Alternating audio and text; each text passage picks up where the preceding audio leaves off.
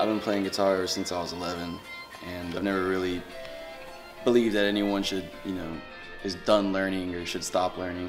You know, I felt that even though I have all this expertise and all this practice and performance and, you know, uh, things that I've taught myself, I thought it'd be a smart idea to go ahead and get into an actual music college.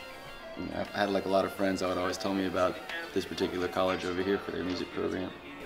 My mom had brought attention to a certain ad they put in the paper for a music scholarship, and I went ahead and went for it and auditioned, and they took me in it, and I'm actually really glad that I did that because it's a really, really cool program. It's just really, really cool just being around so many people that have the same ideas. You have to have a tenacious attitude.